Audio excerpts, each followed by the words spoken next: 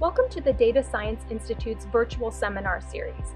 My name is Dr. Sarah Mackey from Lawrence Livermore National Laboratory.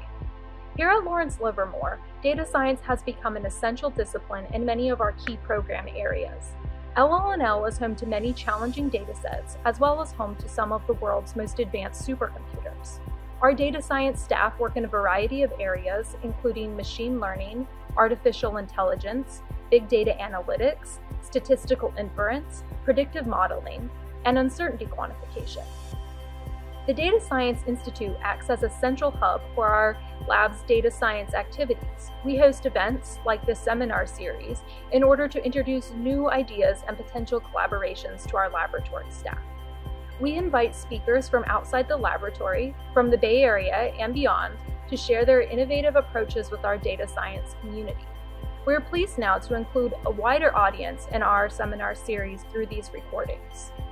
You can read about past speakers at our website at data-science.llnl.gov, or you can email us at datascience at llnl.gov.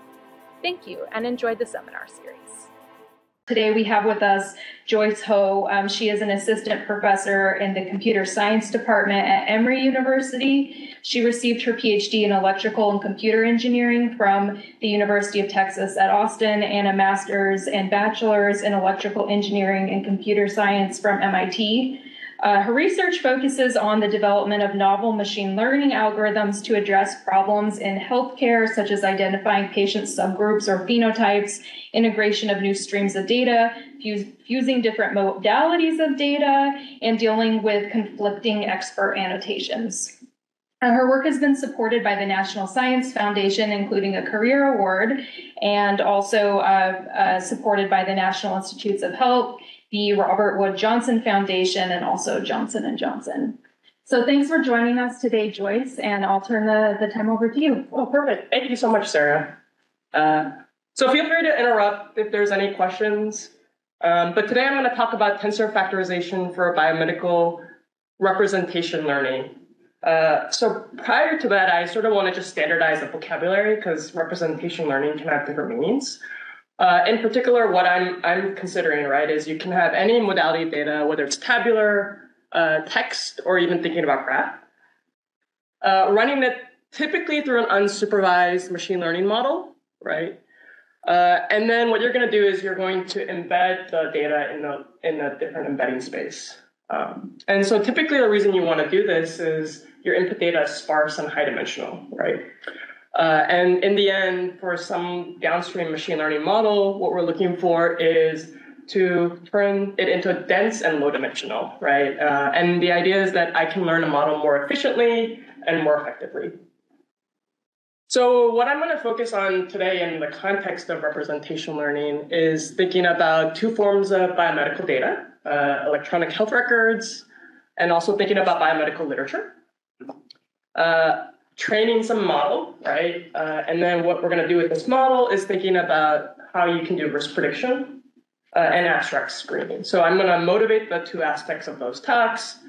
Uh, but in particular, what I'm going to look to answer, right, is how to deal with missing and irregularly sampled data, right, while thinking about higher order interactions, uh, how to capture heterogeneous interactions in a bibliographic net network, and how to encode temporal information.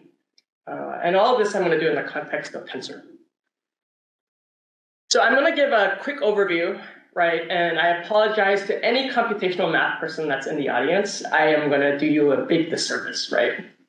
Uh, and so the first thing I'm going to cover is thinking about matrix factorization. Um, and so it's a common dimensionality reduction technique. Uh, the idea is to do come up with a low rank approximation to the original matrix. Uh, and then what I'm looking to do is to uncover some latent relations. So the most common mechanism is thinking about movies, right?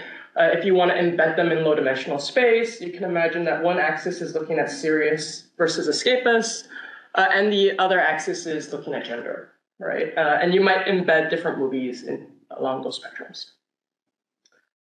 Now, one really, really common mechanism is thinking about singular value decomposition or SVD. So if I think about an m by n matrix, uh, I can construct our embedding in m by r space. R is going to be much smaller. Uh, and formally, let's say that I, you know, input is x, right? I'm going to look to factorize x into u, uh, sigma, and b transpose. Um, and the important things to note are u and b are orthogonal matrices. Uh, and then the nice you know, benefit is that the singular values will then denote the importance of your latent dimension. And you can go ahead and then use U as your embedding space, right? So it's, it's a nice mechanism to get at embedding sort of quickly. And this is, you know, all pre-deep learning, right? So I should caveat as saying that the last couple of years things have changed a little, but SVD is still very much a workhorse in thinking about, you know, representation learning. Uh, and you might think, well, what if I don't want my matrices to be orthogonal, or I want to think about learning parts of it, right? And so uh, another very common one is thinking about non-negative matrix factorization. Uh, so both W and H are non-negative. Uh, one of the really nice benefits of NMF, right, is that it actually induces sparsity, but you know, sort of naturally. And you have this sum of parts representation. Uh, and so Lee and Seung proposed it back in 1999 uh, as thinking about learning the parts of an object. And so I wanted to just sort of contextualize it in the con, you know, thinking about embedding in the context of NMF, uh, thinking about it from a factor weights and a latent factor definition. So let's think about this from the context of health records, right? So you might have something like patients by terms, right? And I'm looking to factorize it into this low dimensional space. And I'm gonna say without loss of generality that uh, W and H sum to one, right? So what I might do when I actually factorize this, right, if I look at the latent factor weights, right, uh, is I can identify subgroups. And so this might be something like mild hypertension group, right? So, you know, and I can look at, you know, what are the weights along a particular column, right? So remember H is, is you know, sort of transposed. So uh, I'm, I'm going to think about it from, from a column perspective. Uh, and then I could say hypertension is the most important, then beta blockers, which is a drug used to treat hypertension, is, is second. And then whether or not they're smokers might be third. And then the nice thing, right, because remember I was thinking about embeddings, right, is I might have someone like Mary Smith, and I can now embed her in this new group space. Uh, and so let's say that I can give meanings to all my different groups. Uh, so her new embedding might be that she's mostly mild hypertension, but she also has some factor of uncontrolled diabetes, and she also happens to have sleep apnea. Not very healthy, right? Uh, but that's sort of the nice representation, right? So rather than thinking about you know Mary Smith in the context of this really high dimensional space, I can now think of her in the context of subgroups. Now, then the question might be, well, if I'm going to assume matrix, right, uh, I'm going to assume that every column is independent of one another, right? Uh, and what I'm going to lose is when I try to sort of matricize anything is any higher order dimension uh, interactions I'm going to go ahead and undo, right? So you could imagine that, you know, oftentimes for many diseases, uh, there's prescribed medications and there's some like hierarchical structure that I'm sort of not going to capture in the context of factorizing it. So that's really the question that we're looking to do, right? Um, and tensors are a great way to think about these higher order dimensions, right? So there are generalizations of matrices to multi-dimensional array. Uh, you can actually naturally capture any n-array interaction and it's actually used in many, many different domains. So I'm going to give you a few examples of this. So you probably see it very often, right? So the first one is the matrix version of it, right, which is black and white. Uh, and then the right side is going to be the tensor version, which you now encode the third, third dimension as red, green, and blue. Yeah, so that's your tensor. Uh, you can imagine that if I'm looking at sensors over time, if I wanted to think about it in three dimension, I might think about space and time together, right? Uh, and so space, right, latitude and longitude are natural axes, and then temp temporal is a third. And then probably the one that you're more familiar with, right, is thinking about recommendation systems. So let's say that I have users and movies. Uh, but what I might be interested in is the context in which they do it, right? So whether I rent a movie, pause it halfway through, right, or give it a you know, thumbs down, right? Those would all be the third dimensions. So then the natural extension, right? So once I have this new representation, is to think about, you know, how I translate SVD and NMF to tensor world. Right? Uh, and so that's where tensor factorization comes in. Tensor factorization is also known as tensor decomposition as well. And there's many different versions. So I think today's talk, I'm probably going to cover five of them. Uh, but the idea is how you can actually capture this multi-way interaction across uh, the different dimensions, sort of succinctly. So the first one I'm going to talk about uh, is the CANDECOMP/PARAFAC decomposition. So that's CP. Uh, so I'm going to go ahead and take my tensor, right? So X is now my new tensor. Uh, and what I'm going to do is I'm going to decompose it into a sum of rank one factors. Um, and so visually it looks like this. Uh, and I'm going to put this big disclaimer, right? I sort of mentioned this at the beginning, but my notation may not be very consistent or exact, right? So if you're a computational math person, uh, please don't hold it against me. I, am coming at it from, more from a you know computer science perspective. Uh, but what you can think of in, in CP, right, is that it's really the sum of rank one tensors, right? Uh, and what the O is denoting is the outer product. Um, and so the, the version of this to think about, right, is if I'm thinking about NMF, right, I'm simply just going to generalize it. So in NMF space, right, I'm doing the outer product of two vectors, right? I'm just extending it to the third dimension. And lambda will just denote the weights. Um, and for simplicity, I'm just going to denote it using shorthand notation uh, in this manner. Uh, but essentially what I can get is, you know, n factor matrices as well under CP decomposition. So what we're going to use it for to begin with is thinking about how to find these patient subgroups from EHRs. Uh, and in particular, you know, let's say that I have a lot of different data, right? So what you see on this side is, you know, sort of tabular data. Uh, you can think about genetics, environment, nutrition, medication, medical history and stress, and other versions. Uh, what I'm looking to do is how can I take all these different forms of data and actually identify novel disease subgroups uh, with minimal expert annotations, how I can leverage interactions amongst data sources in high dimensional EHRs, and also thinking about how to summarize these medical concepts succinctly using all EHRs. And I'll note that the, you know, you can think about using this for different data sources as well. I'm just contextualizing it in the in the healthcare domain. So what you can do is, let's say that I construct this tensor using the patient, uh, and I'm going to look at medications and also diseases. If I use CP decomposition, uh, what I can then naturally get are these subgroups, and I'm going to call them phenotypes because uh, typically in nature, uh, so not in nature, but in medicine, computational phenotypes is, is ways that I'm looking at subgroups. And what I can get, right, is which patients belong to that subgroup. I can also get at which diseases belong to this subgroup and which medications or procedures also belong to that. And there's this really nice interpretation as well, right, downstream. Uh, because there's some sparsity, I can also get rank order of the importance of them. And because we're also still thinking about representation, right, uh, I'm going to go ahead and assume that the patient is the first axis and I can, in fact, get the patient embedding now in this lower R dimensional space. And it's going to be nice and dense. And you can think of patient embedding as sort of a subgroup membership as well, or phenotype membership. So I want to first convince you that this makes sense, right? So uh, we're going to run it on EHR data from Geisinger Health System. Uh, what you see in the top right corner is, is sort of the experimental settings we did. 32,000 patients, 169 different diagnoses, and 471 medications.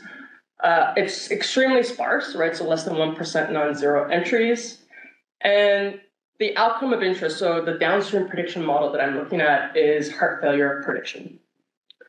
So what you see here is if you did the matrix version of this data, uh, you'll notice that if I looked at one of the subgroups, this is what it would look like. Now, if I look at the tensor version of this, uh, this is what it would look like, right? And what you can notice, hopefully, is that the group definitions are much more concise and much more interpretable. And in fact, we quantified this with clinical experts, uh, and they found that they were oftentimes a map to medical concept. But that's probably not what you care about, right? Uh, you're probably thinking about, well, how well does it do if I wanted to use it as a representation? Uh, so what I'm showing you is the AUC area under the receiver operating characteristic curve, uh, looking at heart failure prediction. On the x-axis, right, is the number of phenotypes, the basically the rank of my CP decomposition. And what you'll notice is there's a baseline, right? So that's if I use the raw features as themselves. Uh, what I can show is that around 20, anything above 20 dimension embedding actually gives me much better performance than the original raw features using the same supervised machine learning model, which is a logistic regression. So that's pretty powerful, right? I basically took this 640 dimensional space and I compressed it to 20 and I can still have the same representation power.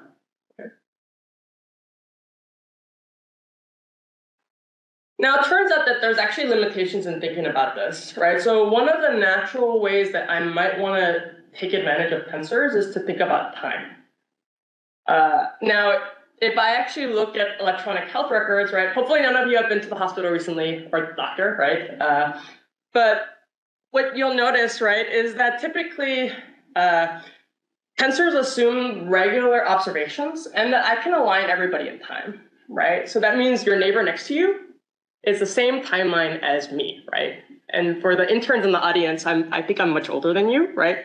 Uh, and so clearly we should not be aligned on the same timeline, right? Or, you know, maybe we should, who knows, right? So let's think about uh, some examples of this. So let's take one, you know, one patient has sleep apnea, let's say, you know, and then comes back for the flu and then has pneumonia, there's another one who moves to Atlanta right midway through, and so I only see one record of them having the flu during flu season. And then let's say that there is an older gentleman uh, that you know is chronically sick, right? Uh, has hypertension, gets some medications, gets more medications, and then has fatigue. Now you can see the timeline doesn't make sense, right? Uh, unless I want to find some way to determine how often they're coming in and define some interval. Uh, and you can also notice like, you know, using the dates may not also make sense as well. So in fact, what we're going to call this is a irregular tensor, right? Which means that I'm no longer aligning in all dimensions anymore. So at, for this first person, I'll have three different visits. For the second one, I'll have one. And then for the third one, I'll have four different ones. And there's no easy way for me to think about time necessarily. But what I can think about doing is stacking them all together, all these irregular matrices.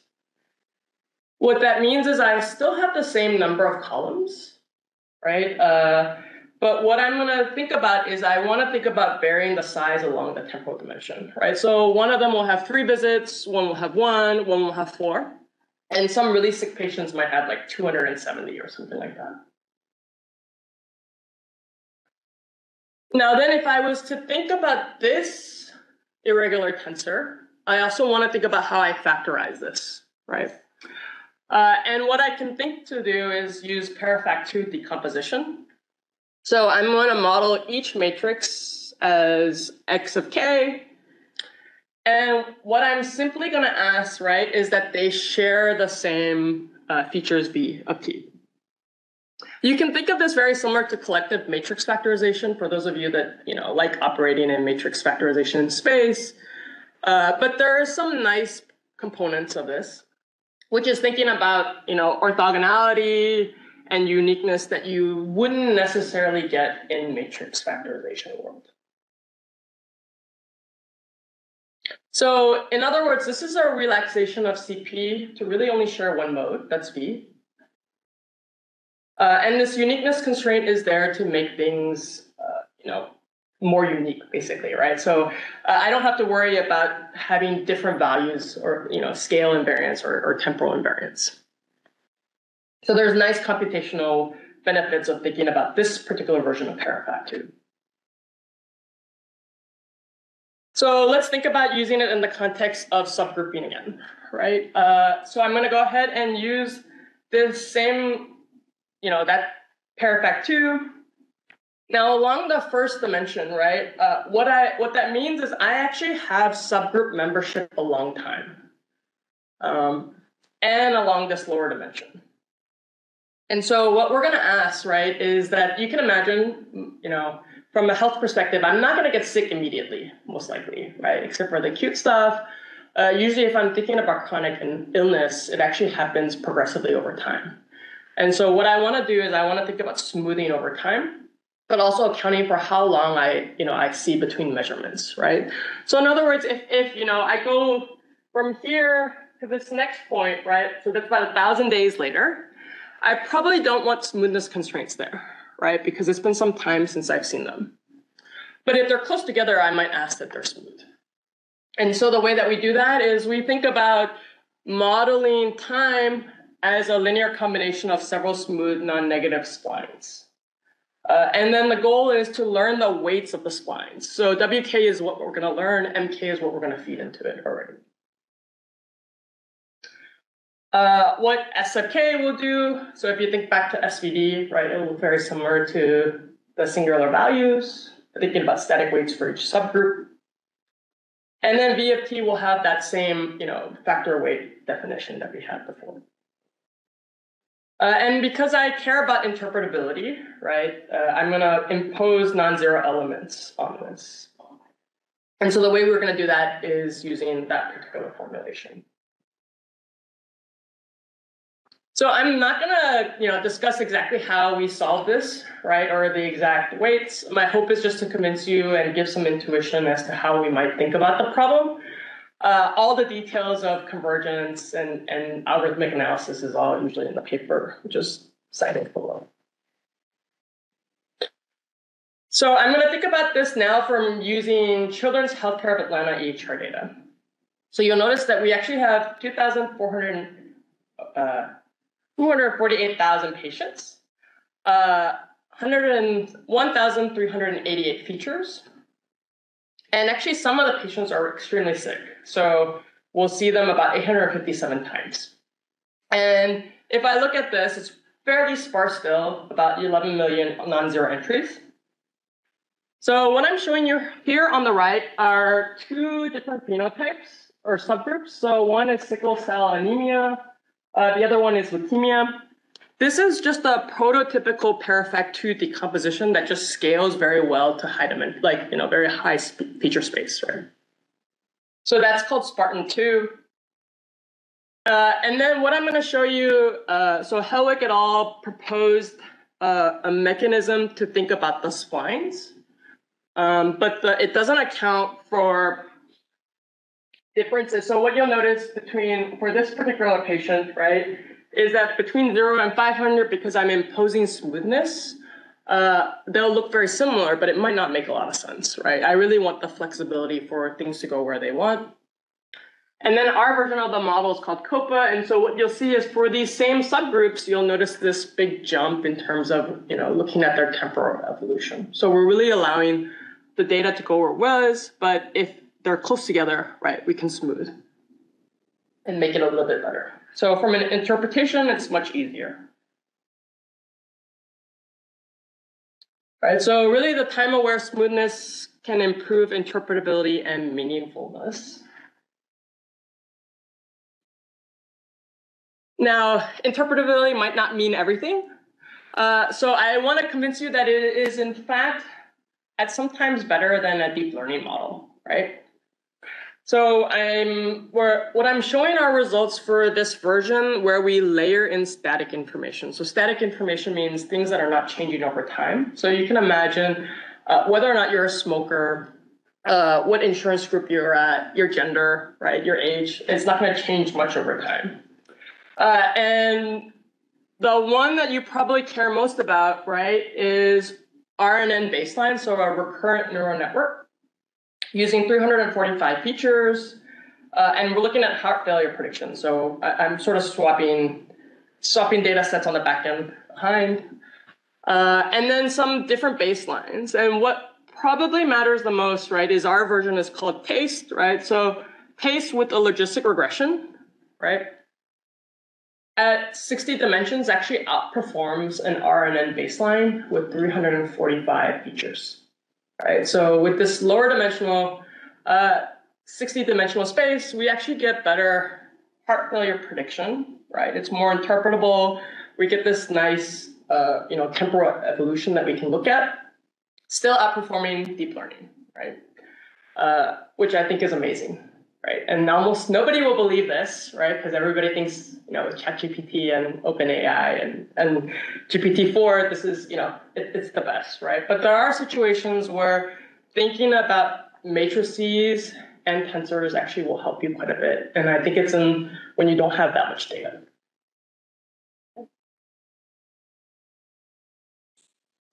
So this assumes that I see everything. Now in practice, that will never be the case, right? There's human error to be had. Uh, people jump between different sites. And so what I'm showing you in red is errors, and what I'm showing in orange, I think, is, is missiness. So what that really means, right, is that visit three was probably coded incorrectly. Uh, and, you know, visit two was really missing and visit, uh, sorry, visit two was incorrectly diagnosed and visit four was missing. So what we've next proposed is what's called repair, so robust PARAFAC 2. And what we're going to do is we're going to decompose this irregular tensor into two different parts. So let's say I have missing and erroneous entries. I'm going to de decompose it into a clean tensor, and the clean tensor will take the same form as before. Uh, and what I'm going to impose on the clean tensor is low, uh, low rank regularization, right? Uh, which is the nuclear norm. And then I'm going to decompose it also into an erroneous tensor. Uh, so I'm going to do the low rank regularization because there's going to be missing values, and I don't want to overfit to the uh, missing values. And what I'll ask is that maybe errors really shouldn't happen that often, and so I'll ask that the erroneous tensor actually be sparse.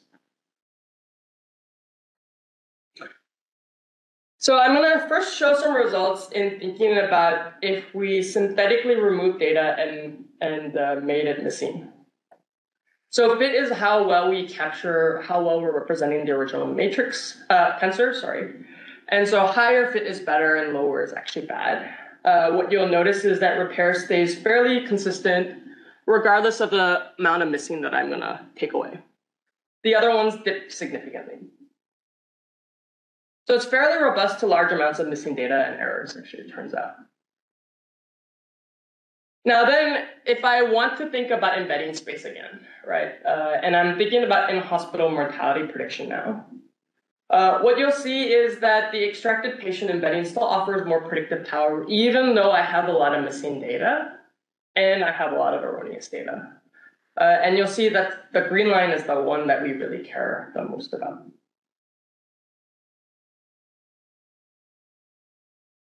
So just to summarize this first part, right? Uh, you know, if I think about PARAFAC 2, it's really a mechanism for modeling sort of temporal misalignment in data. Uh, you can think about introducing meaningful constraints to help with interpretation and, and downstream prediction performance. Uh, explicit modeling of missingness obviously will improve the quality of your representation. Uh, and what I've hidden under the hood is that all of these we've thought about scalable algorithms so that we can learn them relatively efficiently to. It's still much more expensive than matrices, but it's it's it's still better, right? Um, and so before I switch gears, are, are, are there any questions on this first part? You guys are comfortable? Yeah. So I'm I'm now going to switch topics entirely, right? Uh, and so I'm going to motivate systematic reviews. Uh, and so it turns out that it's actually a critical component of evidence-based medicine. And it's extremely human resource intensive. So it's actually an average of 67 weeks to completion. So I want to think about it in the context of a systematic review. Uh, and what you'll notice is typically because I want to get all the literature back, I'll do this really exhaustive database search. And what you'll notice is that uh, I'm going to retrieve 20,000 different articles. Now, someone, right, luckily not me, uh, has to manually screen it first for titles to determine whether or not it should be included. And then once I throw away about 16,000 of the titles, I'm actually going to go and read the abstract, right, uh, to determine whether or not I even want to read the full paper. And so what you'll notice is that I'm going to select 4,000 abstracts for reading. And then I'm going to go ahead and after reading all these abstracts, throw away most of them, and then only read the full text for 78 of them, right? Uh, and in the end, what gets left is 51 articles will be included in the systematic review. And so what I'm going to focus on is uh, sort of the abstract part, right? Uh, trying to figure out, well, how many of them should I actually read the full thing of? And less than 1% of the retrieved articles will actually make it into the full screening process. But just imagine, right? If you're the lucky person that has to sit there and read all 20,000 articles, right? Uh, you'd, you'd be crying, right? At least I would be. Um, and it's actually getting worse these days, right? So if you think about, you know, the rate at which publication is happening, right? 20,000 is actually one of the lower ends these days. It's probably closer to 50 or 60. So let's think about how you might automate this, right? So I'm, I'm first gonna put on the hat of NLP and convince you that that's not the correct hat to do, right? Uh, so let's imagine that I have this particular abstract now, right? So I have a title, and now my goal is to determine whether or not I want to include it in this abstract, uh, sorry, in the systematic review. Now, a human will go ahead and read the abstract, look for specific keywords probably, and then determine whether or not they care about it. Now, from an NLP perspective, right, uh, so if you go back several years, right, you might think about the unigram and bigram. Then we start transition to TF-IDF, right? And then now with all the, you know, the the great things with large language models, you can think about contextual embeddings, right? So I'm not even going to go all the way to, to LLMs these days. But I can think about BERT, Elmo, or GloVe. Now, it turns out that if you include some citation information, you might be able to get better. Uh, so what you can see is on the right side is a BERT model that's trained on scientific text, right? Uh, and I'm looking at how well it separates the different articles, right? So whether they belong to medicine, engineering, mathematics, or environmental science, you'll notice that the embedding space is actually not separated very well. But I can think of building something better with citations and potentially getting some slightly better embedding space. So I want to motivate, you know, A, like not thinking about NLP yet, right? But thinking about bibliographic networks. Now, typically when we think of graphs, we think of a homogeneous network, single node type, single edge type, right? So whether or not a paper cites another is my single edge type. But it turns out that actually there's much richer information available, right? You can imagine there's authors, uh, where you publish matters quite a bit, right? Conference or journal venue, uh, and, and all those things you might want to think about. And then, so there's multiple node types. Uh, and then also thinking about you don't want to classify each node as similar, uh, each edge type as similar, right? So whether or not it's a connection between an author and paper, you'll want to treat differently than, let's say, a paper and conference. So what's really popular in graphs these days is to think about graph neural networks, right? Naturally, deep learning has taken over everything. Uh, so the intuition of graph neural networks is that I want to map all my nodes to lower dimensional embedding space such that similar nodes in the graph are close together. And the key distinction between text and graphs, right? So uh, if, if you're more familiar with the NLP side and less so with the graph side, is that in graph world, uh, it really should be invariant to permutations, right? So if you think about text, right, uh, whether I flip two words actually matters quite a bit in the graph world, it doesn't matter as much, right? And so I want this, you know, sort of invariant permutation. Now, in, in some work that we did recently, uh, what we can show, right? So SPECTER is actually a NLP version uh, of base uh, contextual embedding. And then everything I'm showing to the right is going to be a graph neural network only, which means that there's limited amount of text that I'm thinking about. And if you're curious about, you know, the sort of the statistics, right? So it's in the top right-hand corner uh, in terms of the number of articles that you're going to look at and then the ones that are included. And what I want to show, right, is these two rightmost ones, right? Uh, in fact, using just the bibliographic embedding, right? So the embedding from graphs with very limited text data, I actually do much better than a BERT-based model. I can't guarantee this will hold, right, for GPTs these days, but uh, this was work that was done about a year ago, which is pretty promising. Now, the downside to thinking about modeling these heterogeneous graphs, right, is that there's been this work that shows you actually can't replicate the great results, unsurprisingly. Uh, so what I'm showing you here are several different uh, graph neural networks for heterogeneous graphs, right? Uh, and then GCN and GAT are two homogeneous graph neural networks, right? So the top set is what is actually reported in the original paper. Uh, and the bottom part is actually what's reproduced if you standardize what you're passing in, right? Uh, and how you preprocess the data. So unsurprisingly, actually, A, you know, the, the results aren't as promising as you think they are. But GCN and GAT actually do, you know, the homogeneous versions are actually a little bit better than the heterogeneous versions, which is a little bit sad. So ex existing heterogeneous GNNs actually fail to outperform homogeneous GNNs. And we've been trying to figure out, well, why might that be the case? Right? And, and one of the big reasons why is we think that there's a lot of noise in heterogeneous data. And so how can we minimize noise and make it a little bit more robust? So what we developed is SR-Colmer.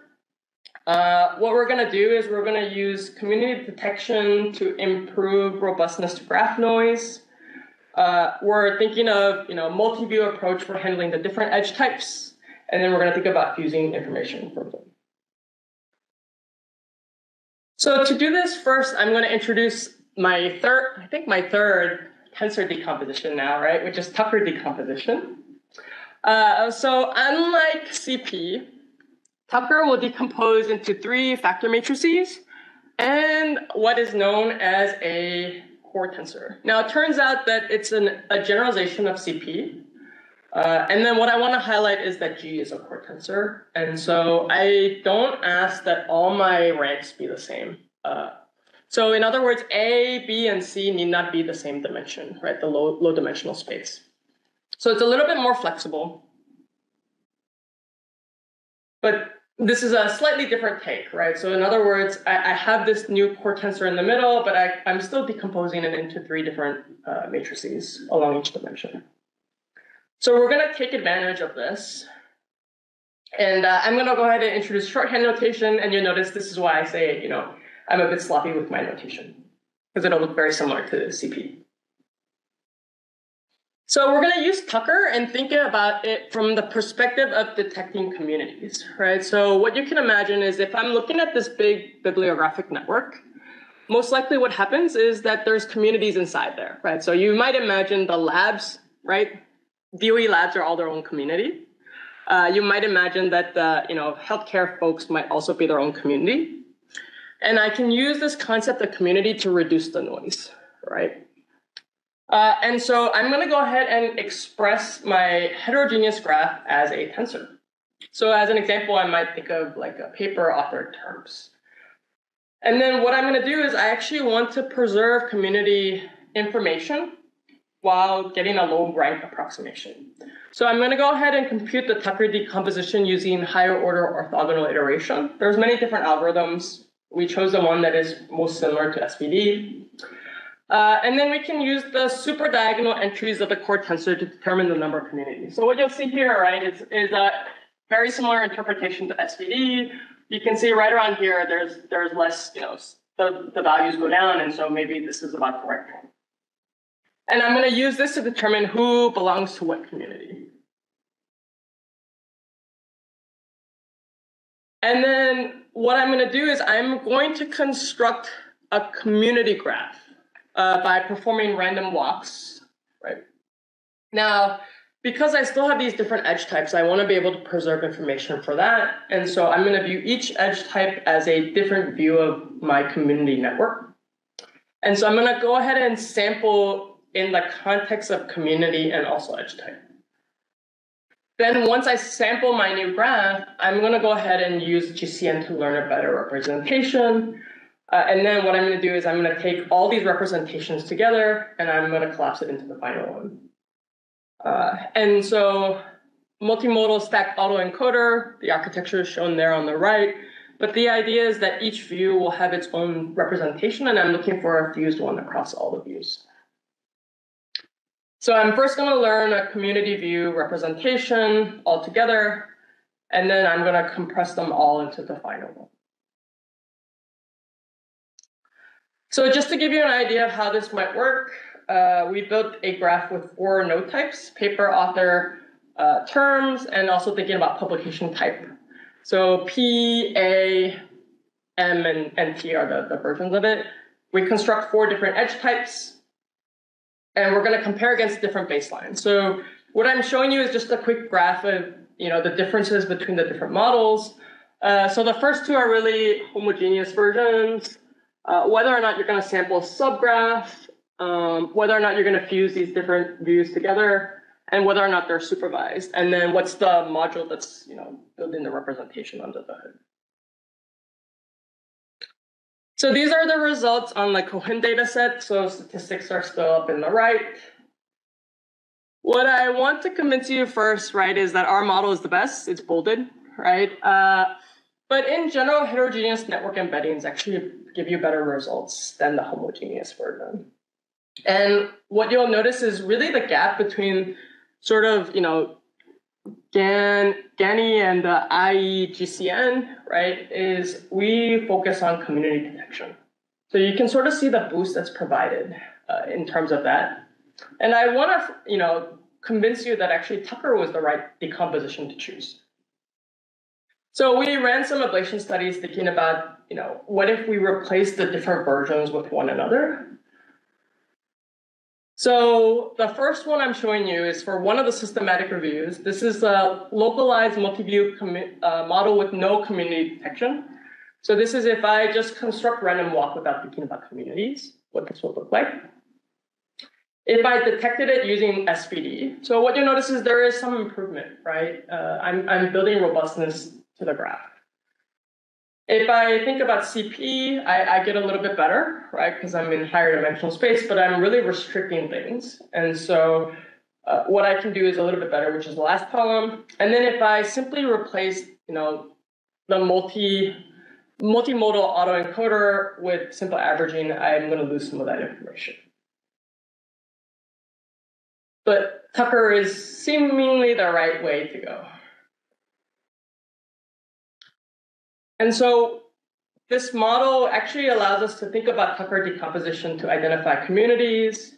Um, and then our framework allows us to avoid having to specify the meta path. So in, in some of the other models, you actually specify what is the path between the different edge types that I want to keep. Uh, and fusing information from communities and edge types actually use, yields better representations. So with that, I'm going to move to the last part, and I'm not going to spend a lot of time discussing the temporal part, uh, only because you know you guys might be a little bit bored already. So temporal graphs are, you know, one of the things that I'm assuming in the previous version, right, is that graphs are not changing over time. Uh, and you know, in citation networks as well as many of the other graphs, actually, I want to think about how to deal with time. So you can imagine there's always going to be new papers, right? As we're speaking, there's more new papers that get published on arXiv. Uh, new authors are coming up, right? Everybody's in a race to publish. And as things are evolving, there's new terms, right? So large language models used to not exist 10 years ago. They're common, right? LLMs. So we want to think about, well, how can I adapt uh, my embeddings to capture this information? So from the knowledge graph embedding side, uh, there was this decomposition called RESCAL uh, that's looking at how you capture representations you know, when you have multiple different relations. So you can just think of it as uh, I have different nodes and they have different edge types between them. So you'll you'll see, you know, the the math looks very similar to Tucker. Um, and in fact, it's a special case of Tucker with uh, one factor matrix is, one perspective to think about it. Uh, and another way to write it is to think about it, you know, x of k is a, r of k of a. Now, that doesn't really quite capture the temporal side. Uh, and so more recently, there's been a lot of work in image processing and signal processing to think about how you might want to capture temporal correlation. Uh, and so what was introduced was TSVD. Um, and the idea is that I'm going to do a circular convolution between three different tensors, right? And it turns out the middle tensor will have this right uh, sort of diagonal form. Uh, what you can think of is in matrix form, uh, each element is a tube. And that's how they, they want to think about this. Uh, and in this sense of thinking about this tube, tube analogy, the form is going to be very similar to SVD, such that U and B are orthogonal tensors. Uh, and you're simply just stacking up these two uh, matrices together. But it actually, you know, one of the really nice properties it turns out is someone showed that the circular convolution is equivalent to computing the multiplication in Fourier space. Uh, and the reason why I say this is nice is Fourier space, right, uh, is very good at capturing temporal correlations, right? So periodic correlations that happen in time, you can really pick up in Fourier space, right? That's sort of the really nice property.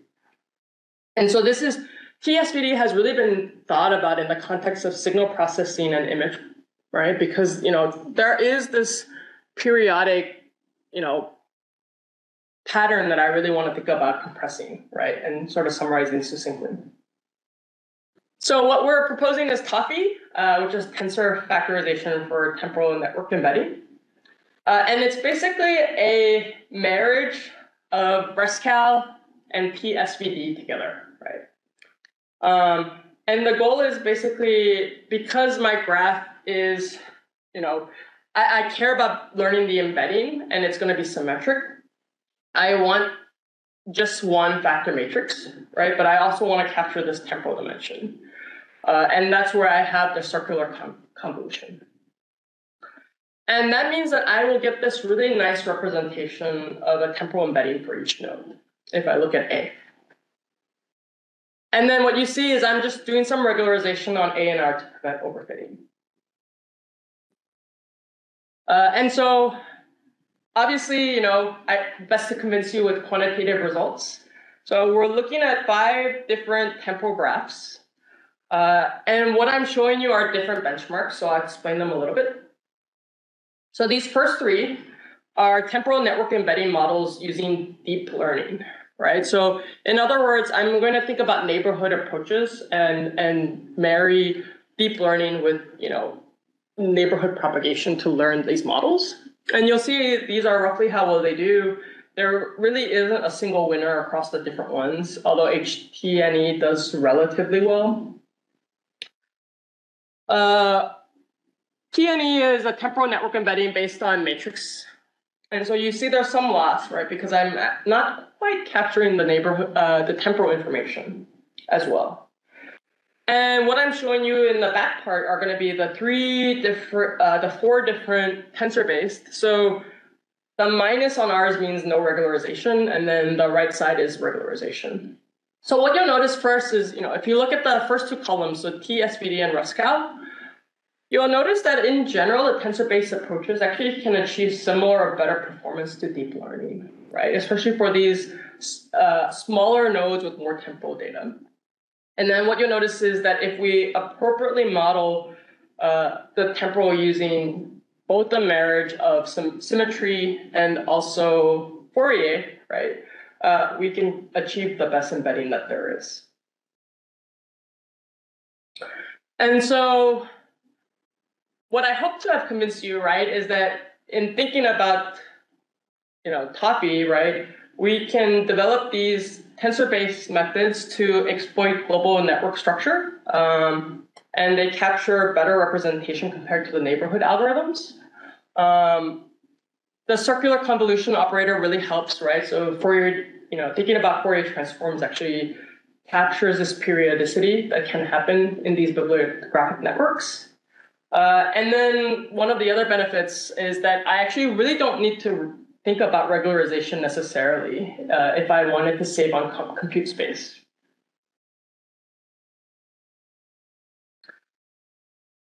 So with that, I'm going to go ahead and summarize, you know, what we discussed today. Uh, what we thought about, right? Hopefully, what I've carried you through is uh, how you can think about different forms of biomedical data, tabular or graph, uh, how you might use tensors to learn some better representation, uh, to get this embedding space, and what it can do for you is that it can actually capture global structure uh, for better improved representations. And with that, I'm going to go ahead and acknowledge uh, all the hard work is not done by me, but by my students and collaborators. Uh, and so you can see a, a, picture of my PhD students on the right who did some of this work, and also a lot of collaborators at various different institutions. Uh, and I want to acknowledge that I'm funded by NSF and NIH, and much of this work is, is due to their support. So with that, I'll conclude and, and take questions.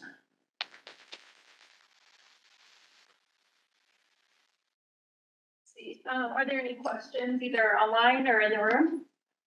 There are no questions in the chat. All right. Well, for those of you online, feel free to, uh, you know, you can come off mute if you have, if you have a question. Have you ever tried tensor factorization or perhaps encountered literature of applying this to image processing? So I haven't done it recently. I, have tried to stay away from imaging only because I, I think, you know, with deep learning, it's, it's really hard to beat uh, with the CNN architectures. Uh, but I thought quite heavily about how you can think about tensors to actually compress the, the architecture and learning parameters. Um, and I haven't yet convinced a student to work on this yet. Um, but there, you know, especially with TSVD, there's been some work to show that it, it's pretty promising and it can approximate deep, deep neural networks. Um, I think what you lose is the nonlinearity. So there's been a lot of merging of the two spaces, I'd say. Yeah. But hopefully I convince you to think about this or maybe come work with me and think about this. Yeah. Uh, I have a question. Um, have you considered uh, or considered the graph Laplacian in uh, any of your community detection algorithms? And I just, I don't know of a tensor-based uh, version of that. Have you, have you come across anything like that? So we tried the graph Laplacian version of it. Uh, I think so. So I, I, should say the TOFI work. So I'm assuming you're referring to most of the TOFI work here, which is the last piece that we've been thinking about. Uh, so my PhD student actually did this at the very end of her PhD uh, journey, and so we didn't actually quite explore a lot. Uh, I don't believe there's a graph Laplacian work yet that I know of, but I suspect people have been thinking about it quite heavily. Um, Even in your community detection piece, right? Uh, because graph, we get the cuts, right? And uh, I, I assume that you're doing, I not assume, I think you said that you are doing uh, your community detection based on clustering, right? That's correct. And even in that piece, uh, I guess graph Laplacians could play a role. That that's true. Yeah, I don't know that we really thought that heavily. So you know, I think in the end we haven't gotten that much better results with the with Tensor as we would have liked. Um, one of the things that I, I, sort of hid under the hood is that uh, Tucker decomposition is quite expensive. Even HOI is, is relatively expensive. And so uh, for us to benchmark on the bigger data sets, it's, it's been a little bit harder to think about how you might scale. Um, and so running the, you know, thinking about also graph Laplacian, I, I think is another added hurdle, I'd say. Um, but I, it, it's something that's worthwhile to think about, I'd say, yeah. It's a great suggestion. Thank you for your talk. It's very refreshing to see something simpler than neural networks. oh, uh, you know, I uh, yeah, I, I, I won't get started on that. yeah, yeah.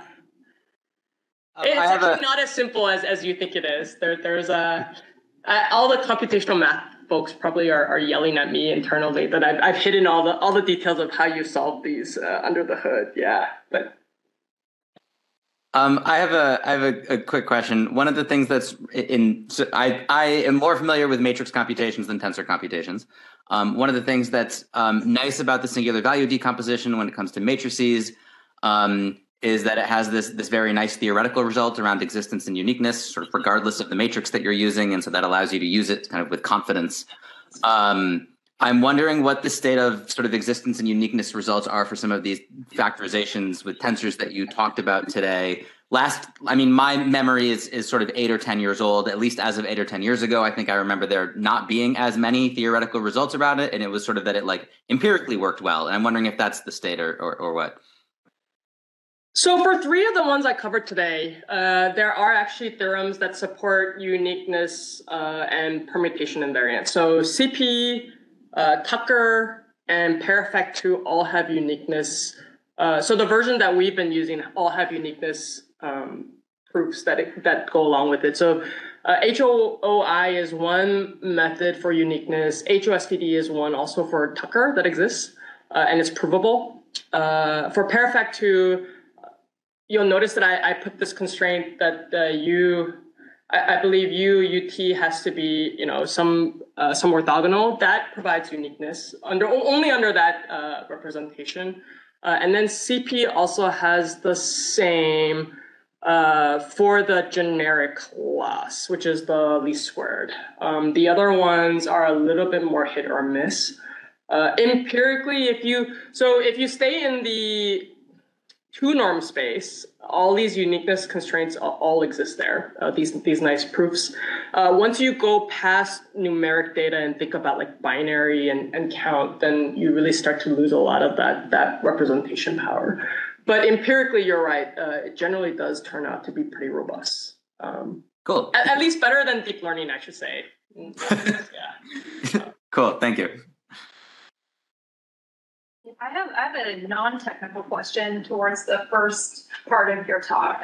Can you talk about some of the challenges of obtaining data sets when you're working with things like patient data and how often people were visiting the doctor? How how do you get data that's quite private?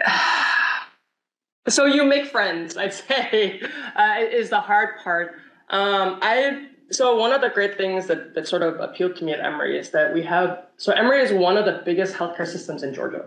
Actually, no, I shouldn't say one of the biggest. It is the biggest uh, healthcare system in Georgia, uh, and so over a three-year time span. So if I'm looking at like between actually four-year time span, 2014 to 2017, we saw about I want to say 10 million patients within our healthcare system, unique patients. Um, and so that's an easy way to do it. Uh, the difficulty is obviously getting the data itself and having the architecture. And so we, someone at Emory has been nice enough to do that. Uh, most of the time, what ends up happening is we throw our software over the, over the firewall, and people will run it for us um, at, at their institutions as well.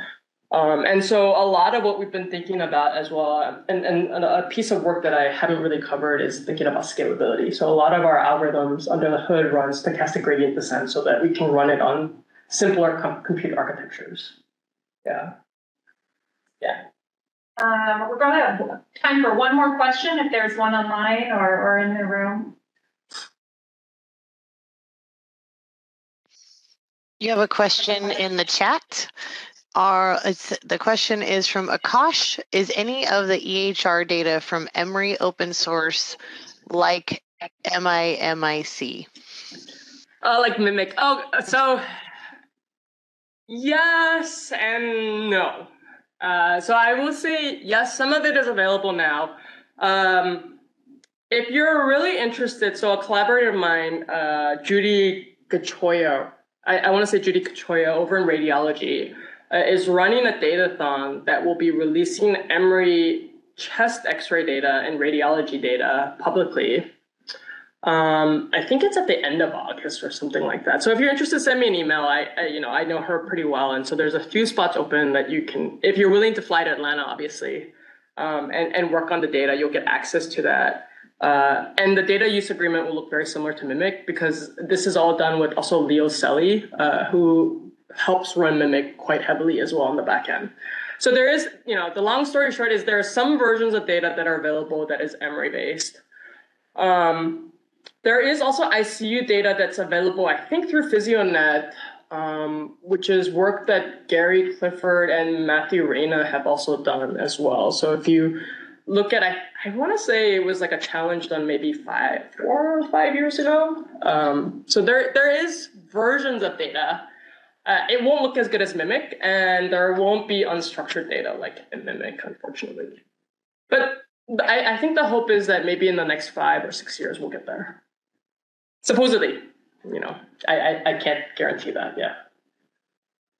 All right, well, let's go ahead and wrap up here. Before we thank Joyce, though, um, she is going to stick around for the next uh, hour or so if anybody would like to um, have a more casual conversation and unpack some of the content that she shared with us today. But let's go ahead and thank Joyce.